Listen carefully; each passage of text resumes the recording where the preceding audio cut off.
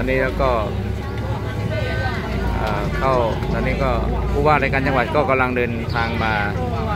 มามอบสิ่งของมาดูแลความทุกข์สุขของชาวบ้านตำบลละมุนนะครับ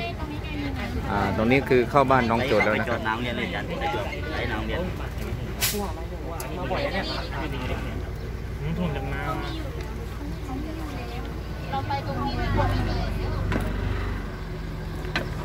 ลงดังลงยัง ลงนะำเฮ้ยอันนี้เราก็โรงเรียน